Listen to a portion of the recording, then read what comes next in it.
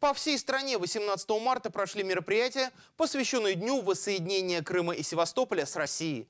Верхнее Волжье не стало исключением. Праздничные митинги и концерты состоялись во всех муниципальных образованиях. В Твери акция прошла на Площади Славы.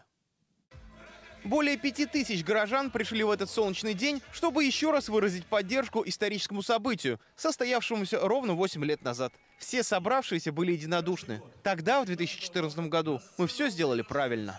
Так должно было быть. Были там, как дома всегда, и сейчас ездим.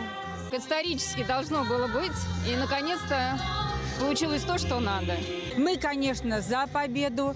Мы против нацизма, против фашизма. Конечно же, это здорово. Не только с исторической части, это, но с части и человеческой, прежде всего. Люди Крыма э, рады, что они присоединились к Российской Федерации.